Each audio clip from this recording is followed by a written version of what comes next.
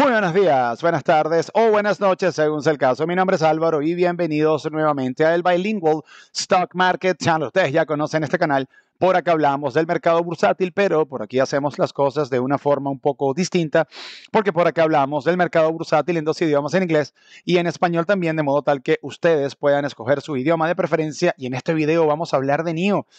El día de mañana, esta compañía de, que fabrica, manufactura vehículos eléctricos, va a estar reportando earnings a primera hora de la mañana. Esta acción ustedes saben que ha sido un absoluto y fabuloso desastre. Tenemos muchísimos dolientes, muchísimas personas con velas en este entierro, personas que compraron acciones de NIO a precios muy, muy elevados y que en este momento están afrontando pérdidas no realizadas.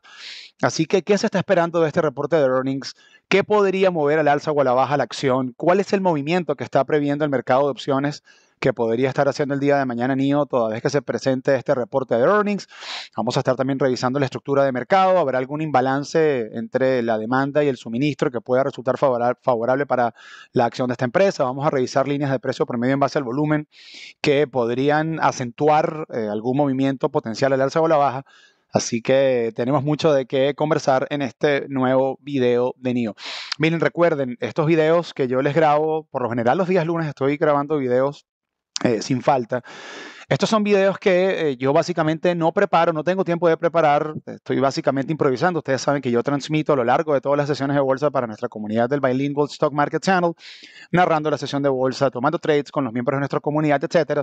Así que cuando termine la sesión de bolsa y me toque grabar este tipo de videos, estoy absolutamente agotado. Hoy no es la excepción, fue una una sesión de bolsa, eh, la que tuvimos el día de hoy, de un margen muy estrecho, los mercados subían, bajaban, subían, bajaban, así que tuvimos que estar muy atentos a lo que estaba ocurriendo y estoy ciertamente muy agotado el día de hoy, así que déjenme un comentario, Álvaro, sigue grabando los videos, no importa que estés cansado, con la mayor regularidad que te resulte posible, déjenme saber si quieren que eh, grabe este tipo de videos de análisis fundamental, técnico, etcétera, de estructura de mercado, con otras acciones, así que si no es mucha molestia, por favor, les ruego me dejen un comentario. Bueno, antes de iniciar, directamente con el análisis de NIO, quería mostrarles el trabajo que nosotros hacemos. Siempre me gusta compartir con aquellas personas que no pertenecen a nuestra comunidad el, el trabajo que estamos haciendo nosotros a lo largo de todas las sesiones de bolsa.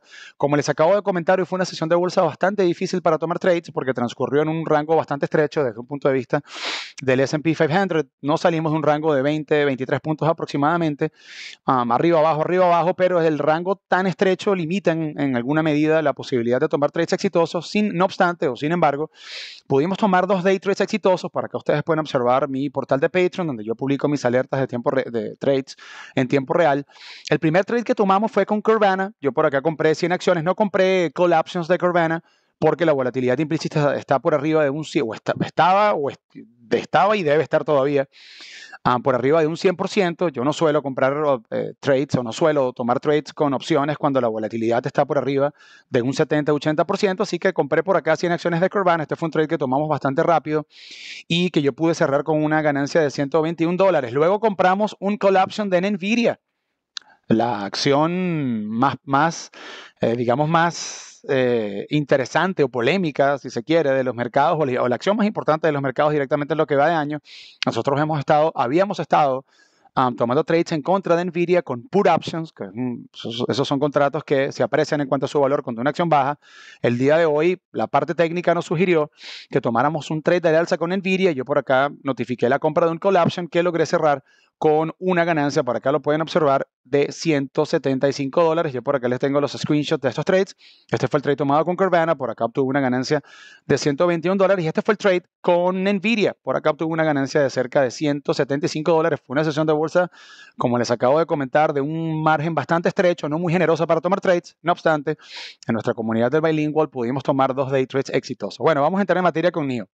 Fíjense, esta acción sube el día de hoy un 1.75% y cierra su cotización en bolsa a 11 dólares. ¿Qué observamos en este gráfico de 4 horas? Observamos una tendencia a la baja pese a que NIO está por arriba de la línea de promedio de 200 días y de la línea de promedio de 100 días. Pero el hecho de que la línea de promedio de 200 días tiene una clara figura de declive y que aunado a ello tenemos una línea de promedio de 20 días en posición de declive y una línea de promedio de 5 días también en posición de declive, es una señal de que estamos en presencia de una tendencia a la baja. Este gráfico técnicamente está bajo el control de los vendedores. ¿Cómo le ha ido a NIO en sus reportes de earnings más recientes. Vamos a ver, en el último reporte de earnings salto al alza, en el penúltimo reporte de earnings retrocedió, en su antepenúltimo reporte de earnings subió y en su cuarto reporte anterior también subió. Podemos decir que en conclusión, en los últimos cuatro reportes que se han presentado, en, en, tres oportunidades la respuesta de los mercados ha sido positiva. ¿Cuál es el movimiento que se está esperando en el caso de NIO para este reporte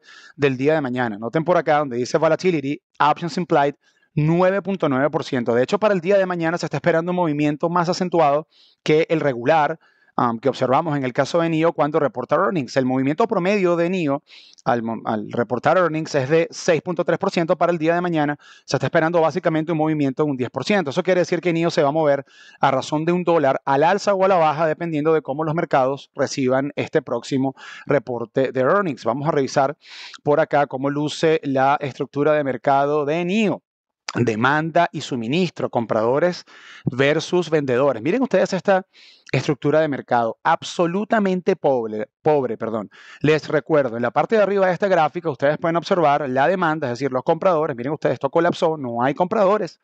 Los compradores se fueron. Y en el caso del suministro, tenemos un suministro que está muy por arriba de la demanda, empezando a retroceder poco a poco y a punto de retroceder por debajo del promedio. Esto lo podemos, e, este pequeño retroceso en el suministro, podríamos asociarlo con el hecho de que NIO pudo subir el día de hoy un 1.75% en espera de su próximo reporte de earnings. Ahora bien, miren esto, líneas de precio promedio en base al volumen. Esto es muy importante para nosotros poder entender dónde están situados los compradores desde una desde una fecha determinada o desde una fecha específica. Acá tenemos dos líneas de precio promedio en base al volumen. Una viene desde el precio histórico más alto de NIO, cerca de 65 dólares, y otra viene desde su último reporte de earnings. ¿En qué se traduce esto en términos prácticos? Ya yo se los he explicado en muchas oportunidades.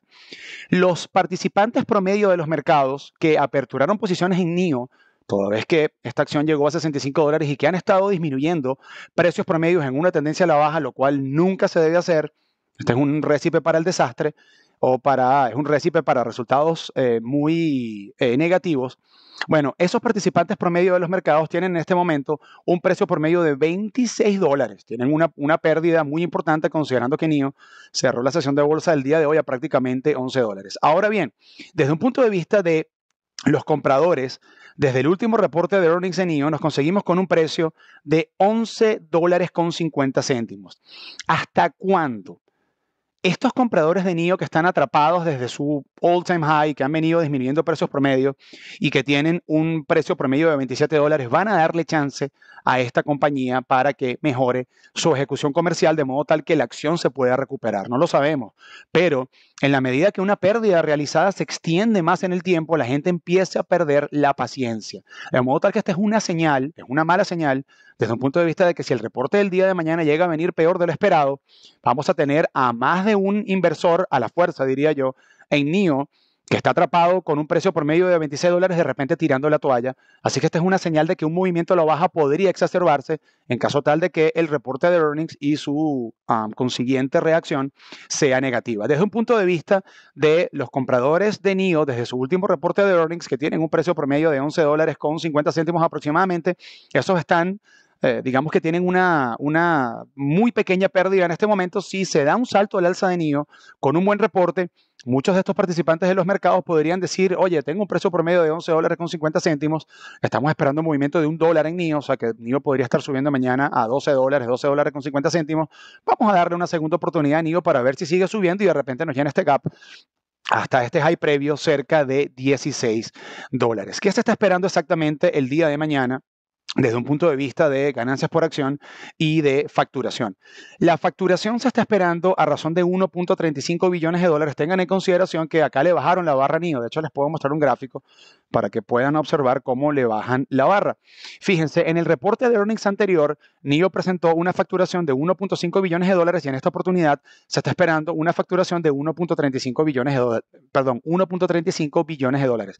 Ahora bien, desde un punto de vista de ganancias por acción, recuerden que esta es una compañía que todavía perdón, esta es una compañía que todavía no genera ganancias, de modo tal que estamos hablando de un IPS negativo. En ese caso, en cuanto a la pérdida por acción, sí le subieron la barra NIO. ¿Por qué? porque en el trimestre anterior, NIO quemó 42 centavos de dólar por acción y en esta oportunidad se está esperando que el IPS negativo mejore a razón de 0.36 centavos o 36 centavos de dólar. Así que le bajan la barra en cuanto a la facturación, lo cual no es positivo desde un punto de vista general, porque esta se suponía que era una máquina de crecimiento y era el nuevo eh, Tesla de China, etcétera, o el Tesla de China, etcétera. Tenemos una facturación um, decreciendo y tenemos una compañía que yo pensaba que iba a generar ganancias muchísimo antes y que todavía sigue siendo una máquina de quemar dinero. Desde un punto de vista de los suscriptores de Earnings Whispers, fíjense ustedes, por acá lo pueden observar, 52% de ellos estima que NIO va a poder superar las expectativas en este reporte de earnings, pero 44%, o podríamos decir que 56% de los suscriptores de Earnings Whispers considera que la reacción de los mercados va a ser negativa. Eso quiere decir que esta acción va a retroceder. Fíjense, hay un, hay un tema importante acá, porque ciertamente la ejecución comercial de NIO se ha deteriorado, ya yo se los voy a mostrar por acá. los mercados como eh, yo les he venido comentando en, mis, videos más recientes, la opinión neta agregada de los mercados tenía razón en cuanto a NIO. Esta acción no ha hecho otra cosa más que retroceder desde el año 2021, pero la ejecución comercial se ha deteriorado de modo tal que los mercados tenían razón acá. Pero hay otro, hay otro motivo que está poniendo presión a la baja no solo sobre NIO, sino sobre todas las acciones chinas. Este es el motivo. Este caballero Xi Jinping es básicamente, eh, podríamos decir, presidente de China. Ustedes saben que es un absoluto y total dictador. Esta es una portada de The Economist, de la revista El Economista, de este pasado fin de semana. Dice este título por acá.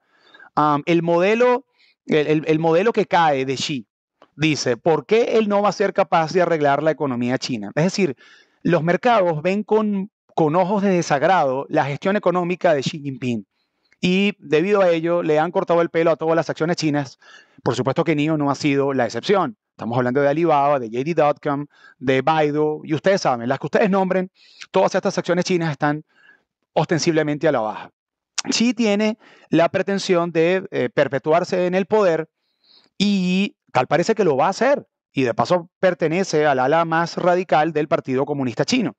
Así que Independientemente, perdón, independientemente de que las compañías chinas hagan las cosas bien en lo sucesivo, esto incluye por supuesto a NIO, este es un elemento que preocupa muchísimo a los mercados, porque tenemos una, una, China que no es tan, eh, que no está tan abierta, digamos, a, a Occidente y un caballero que eh, no se muestra para nada amigable con respecto a la inversión extranjera, etcétera, a la apertura de China, y que pareciera estar más concentrado en lo político, en, digamos, en garantizar el, eh, digamos, la, hegemonía política del Partido Comunista en China y tal vez fuera de China o de, sus fronteras, digamos, regulares. No vamos a entrar en la polémica de si China va a invadir Taiwán o no, más que de tener una actitud, digamos, pro eh, eh, occidente o, digamos, eh, más amigable hacia la inversión extranjera.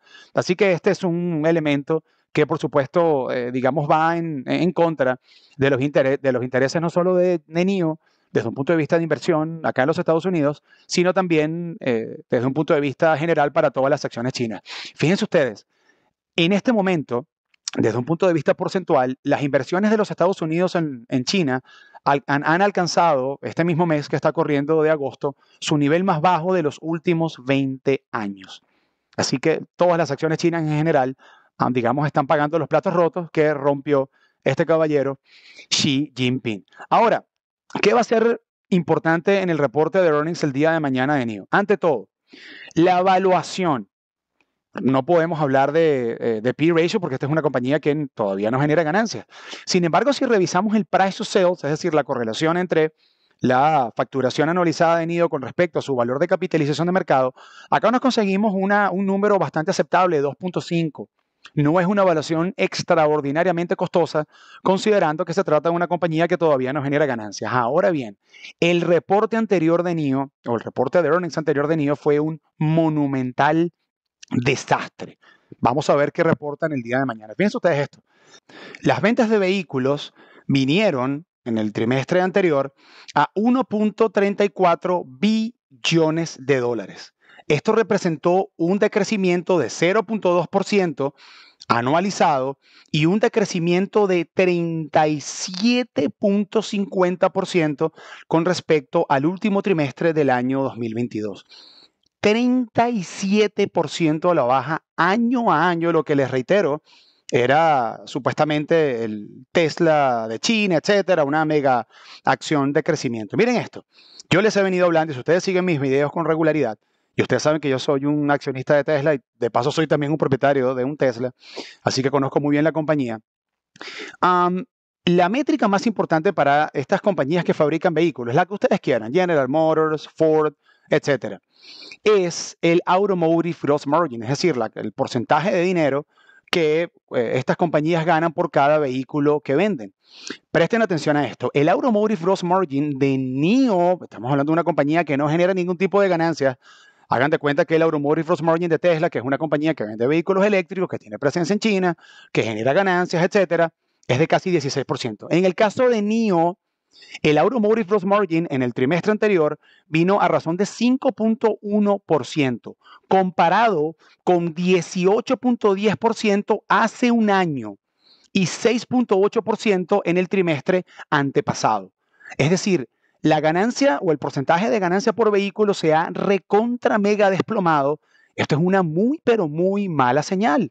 Es decir, tenemos una compañía que debería estar ganando muchísimo, o por lo menos digamos que pueda ganar lo mismo que gana Tesla, un 16%, ah, o que pueda reflejar un 16% de Automotive Gross Margin, pero que está exhibiendo el mismo, el mismo Automotive Gross Margin de una compañía como General Motors o como Ford, porque yo le voy a dar mi dinero a una compañía que quema dinero y que de paso exhibe un automotive, un automotive margin o un porcentaje de ganancia por vehículo que viene en franco retroceso como NIO. No tiene, no tiene ningún sentido. Fíjense en este detalle. La facturación o la facturación total vino a, como les acabo de comentar en el, hace, unos, hace unos instantes, a 1.55 billones de dólares, representando un incremento de 7.7% año a año. Esto es nada. Esto es nada para una compañía que, como les acabo de comentar, no genera ganancias y que para poder justificar una evaluación cara, que en este momento no la tiene, porque estamos hablando de un precio sales de 2.50, pero que si eventualmente quiere, eh, digamos, exhibir una, una evaluación costosa, tiene que por lo menos crecer o, ser capaz de hacer crecer su facturación anual, de manera anualizada al menos un 20%. Y miren esto, la, facturación total de NIO en el trimestre pasado reflejó un decrecimiento de 33.50% trimestre a trimestre. Estamos hablando de una ejecución comercial tremendamente pobre. Miren otro detalle. A ver, seguimos por acá con NIO. La pérdida neta, 690 mil millones de dólares. Esto representó un incremento de 166% año a año. Les reitero, no solo es una compañía que está perdiendo dinero, sino que la pérdida se está acentuando desde un punto de vista anualizado. La pérdida, ah, digamos, eh, neta de la compañía se incrementó 166% año a año. Miren esto. Otro detalle importante, la posición en efectivo de NIO. Esta es una compañía que tiene una posición en efectivo de 5.5 billones de dólares. Recuerden que fabrican vehículos, fabrican vehículos, lo cual es una actividad económica que requiere una enorme um, inversión de capital. Y esta es una compañía que está quemando dinero. Es decir, en el último trimestre quemaron nada más casi 700 millones de dólares cuando tienen una posición en efectivo de apenas 5.5 billones de dólares. ¿En qué se traduce eso? En términos prácticos, en que muy probablemente van a tener que seguir diluyendo a sus inversores. Es decir, van a, seguir, van a tener que seguir, eh, eh, digamos, emitiendo acciones nuevas con la finalidad de recaudar capital. ¿Qué ocurre en este caso? ¿Qué ocurre cuando una compañía emite acciones nuevas para um, recaudar capital? Que si yo tengo acciones de una compañía, y supongamos que una compañía es una torta, entonces si la torta se hace más grande, la porción de torta que yo tengo pierde valor. Así que esta es una muy mala señal y la ejecución comercial de NIO ha retrocedido de manera ostensible. El día de mañana hay que estar muy atentos porque ustedes saben que cuando estos reportes se publican, lo primero que la gente ve, y es un error, es la facturación y el IPS. Ah, superaron facturación, superaron el IPS.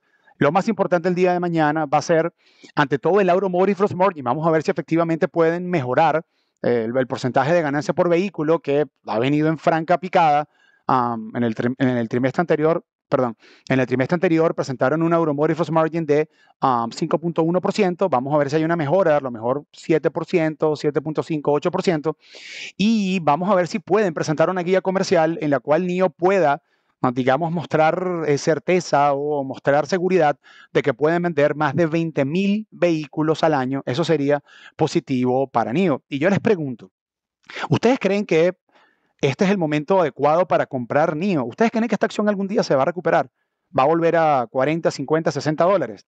No sé, a lo mejor algo le pasa allí. A lo mejor este caballero fallece el día de mañana, la semana que viene, y las acciones chinas se disparan a la luna. Pero, ¿esta acción se va a recuperar algún día? ¿Será que este es el Tesla de China? Y para aquellas personas que tienen pérdidas no realizadas en NIO, ¿qué piensan hacer? ¿Van a sentarse a esperar a ver si algún día NIO se recupera? ¿O estarían sopesando cerrar posiciones considerando digo, si la ejecución comercial no mejora, considerando los motivos que les acabo de exponer. Esta es una compañía en clara decadencia. ¿Pueden ir a revertir esta historia de decadencia? Claro que puede, pero luce complicado, a mi modo de ver, una recuperación total de la compañía considerando el factor China. Acá en los Estados Unidos, prácticamente nadie quiere invertir en acciones chinas mientras este caballero, Xi Jinping, siga en el poder. Así que déjenme un comentario por allí, me hacen saber. Vamos a ver qué pasa mañana, el día de mañana, con el reporte de Earnings NIO. Y con este análisis de NIO voy a finalizar nuestro video del día de hoy. Si consiguieron valor en él, por favor, denle al botón de me gusta y recuerden suscribirse a nuestro canal de YouTube. Recuerden que por aquí en el Bilingual Stock Market Channel estamos publicando videos de los mercados siempre que nos resulta posible. Así que ya ustedes saben qué hacer, suscríbanse al canal, eh, denle al botón de me gusta, dejen un comentario por allí y nos vemos en nuestro próximo video. Hasta luego, saludos y que saludos, perdón, y que disfruten el resto de su día. Chao.